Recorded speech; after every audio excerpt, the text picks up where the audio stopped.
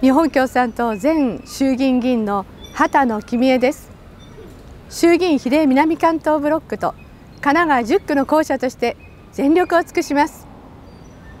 国会論戦で安倍政権と正面から対決してきました。安保法制では米軍基地の司令部がある神奈川県が米韓防護を行うことによって米軍と相手国との武力紛争に巻き込まれる危険性があることを初めて明らかにしました。教育問題では35人以下学級の推進を安倍首相に迫りました。また入学式に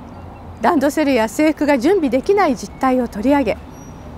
入学準備金を入学前に支給できるよう改善させました。市民と野党の共闘を誠実に貫いてきた日本共産党を比例南関東ブロックで C 和夫委員長をはじめ4人以上の議員に躍進させてください。神奈川10区の私畑野公恵をはじめ小選挙区でも勝利させてください。国民の声が生きる新しい政治をご一緒に作りましょう。